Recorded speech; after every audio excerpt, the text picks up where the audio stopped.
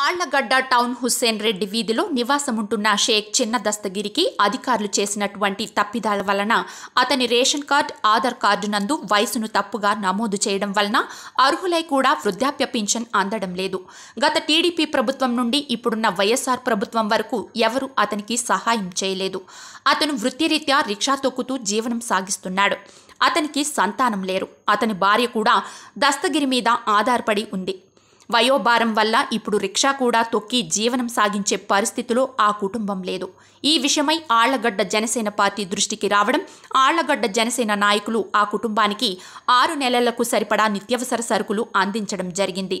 అదే రోజున ఈ సమస్యను స్థానిక ఎమ్మెల్యే దృష్టికి తీసుకువెళ్ళడం జరిగింది. అప్పటి నుండి పది నెలలు గడుస్తున్నా ఇంతవరకు ఆ కుటుంబానికి వృద్ధాప్య పింఛన్ రావడం లేదు. ఈ సమస్యను ఆళ్ళగడ్డ జనసేన పార్టీ నాయకుడు మైలేరి మల్లయ్య ఆళ్ళగడ్డ ఎంఆర్ఓ కార్యాలయం సీనియర్ అసిస్టెంట్ రంజిత్ కుమార్కు వినతి పత్రం అందజేశారు. మైలేరి మల్లయ్య మీడియాతో మాట్లాడుతూ గత సంవత్సరం ఈ సమస్యపై ఎమ్మెల్యే దృష్టికి తీసుకెళ్ళినా సమస్య పరిష్కారం కాకపోవడంతో మరొకసారి దస్తగిరికి అధికారులు మరియు స్థానిక ఎమ్మెల్యే తన పర్సనల్ సమస్యగా తీసుకొని ఆ కుటుంబానికి వృద్ధాప్య పింఛన్ను వచ్చేలాగా చర్యలు చేపట్టాలని ఆశిస్తున్నాను అన్నారు. ఎంతో మంది అనర్హులు పింఛన్లు ప్రభుత్వ పథకాలు వస్తున్నప్పుడు అర్హుడైనటువంటి చిన్న దస్తగిరికి న్యాయం చేయవలసిందిగా కోరారు. ఈ సమస్యను నెలలోపు పరిష్కారం చేయకపోతే కర్నూలు జిల్లా జన సైనికులు అందరితో కలిసి ఆ కుటుంబానికి పింఛన్ అందే వరకు నిరాహార దీక్ష చేపడతానని తెలియజేశారు. ఈ కార్యక్రమంలో జనసేన నాయకులు ఆంజనేయులు వెంకట సుబ్బయ్య కేశవ రమేష్ పాల్గొన్నారు. ఆలగడ్డ టౌన్లో నివాసం ఉన్నటువంటి ఉన్నటువంటి షేక్ చిన్న దస్తీ గారి దస్తగిరి గారు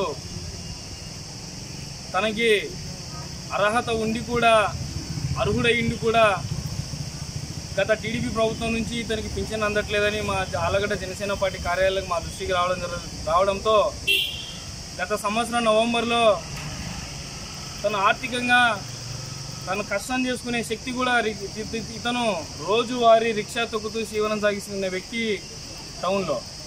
అలాంటి వ్యక్తికి అర్హుడైండి కూడా ఈరోజు పింఛన్ అందట్లేదు.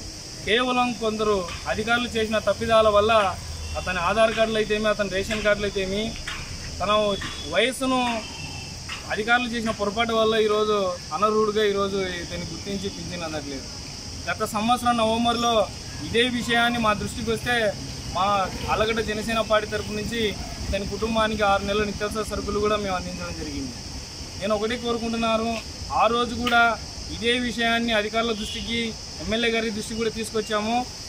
తీసుకొచ్చిన వెంటనే ఇతని కుటుంబాన్ని కూడా కలిశారు. తప్పకుండా న్యాయం చేస్తామన్నారు మరి ఈరోజు ఈ సమస్యను గత సంవత్సరం నవంబర్లో దృష్టికి తీసుకొస్తే ఇంతవరకు కూడా ఆ కుటుంబానికి పింఛన్ అందట్లేదు. అతనికి కనీసం ఏ ఆధారకం తన కుటుంబ సభ్యులు కానీ కొడుకులు కానీ పిల్లలు కానీ ఎవరు అతనికి ఆధారకం లేదు. తను కేవలం భార్య కూడా తన భర్త మీద ఆధారపడింది.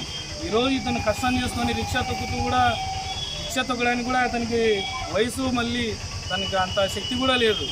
మరి ఈరోజు అధికారులు ఆ కుటుంబానికి ఆ వ్యక్తికి పింఛన్ గిన మంజూరు చేస్తే ఎవరిని ఈరోజు ప్రాధాయపడాల్సి ఎవరు కష్టం కోసము ఎదురు చూడాల్సిన అవసరం లేదు. ఎవరి సహాయం కోసం ఎదురు చూడాల్సిన అవసరం లేదు. ఇప్పటికైనా అధికారులు స్థానికంగా నేను ఎమ్మెల్యే గారి దృష్టి కూడా తీసుకొస్తున్నాను. సార్ దయచేసి మీరు ఈ పర్సనల్ తీసుకొని ఈ సమస్యను మీరు ఆ కుటుంబానికి తప్పకుండా న్యాయం చేస్తారని ఆశిస్తున్నాను. ఒకవేళ మీరు నేను నెల రోజులు మీకు ఈరోజు నేను నేను టైం ఇస్తున్నాను అధికారులు కానీ ప్రతి ఒక్కరికి.